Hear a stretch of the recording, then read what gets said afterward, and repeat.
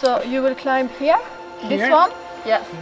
And I will be hanging over. We are inviting different women to come join us in the mountains to empower female climbers and especially alpine climbers because it's just very rare to find two women together.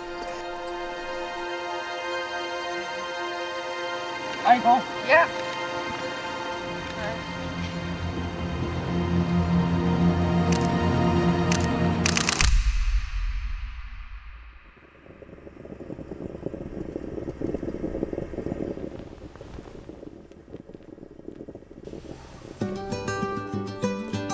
My name is Emma Svensson.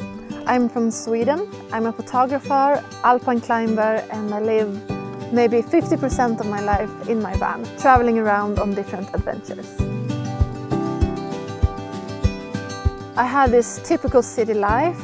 I also had a photography studio and 12 employees and these days it's the opposite. Like I spend at least 50% of the time in my van working remote like a digital nomad. I worked really hard to be able to do that and I will keep working hard for it because it's so worth to me to live your dream and to be able to do what you're really passionate about because for me it has to be it has to come from the heart.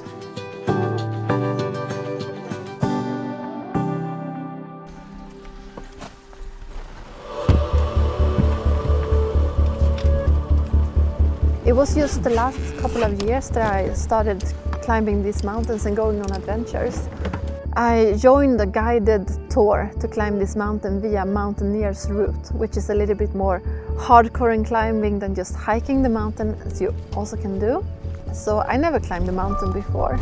I just knew that this is something I have to do. And it was just an amazing experience. And afterwards I felt, yeah, I'm home.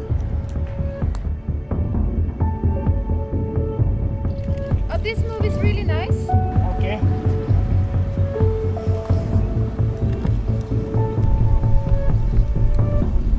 And then it took me like a year before I climbed my next mountain, and that was Elbrus. And when I came home, I was restless, and I felt, okay, I climbed the highest mountain in Europe, what should I do next? What if I climb the highest mountain in every country in Europe? Is that even possible for someone like me with very little experience? For the first round, I had a rental car from Italy and I had nowhere to sleep except in the car because when I tried to get a hotel after I came down from a mountain, it was late in the evening. And if I called a hotel somewhere, maybe they didn't even speak English and they just hang up on me if they were even open. So I thought maybe I should get a van because that will make the logistics so much easier.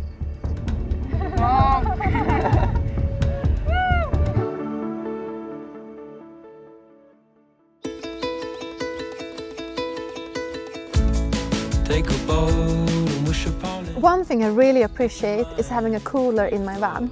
So being able to have fresh food, cook something, have a cool drink when you come down from the mountain, that's just life changing. It's the best thing I've ever done is to get this van. It's so much freedom.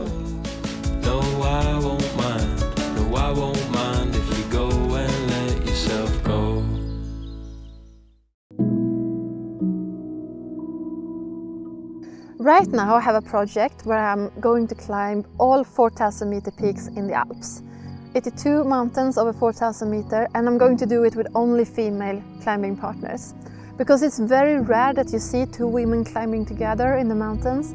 So me and my friend Emma, who is my main climbing partner for this project, we are inviting different women to come join us in the mountains to empower female climbers and this is something I really have a huge passion about, so everything I've been doing my whole life has been about female empowering.